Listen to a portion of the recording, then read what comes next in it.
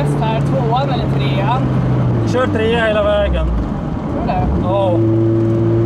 Det låter som att jag blir så trött på trean. Ja, men här rullar du mest med moment. Du kan ja. inte axa så mycket. Det här man liksom dösar upp och sen eh, bromsar växeln till två och går in. Ja, just det.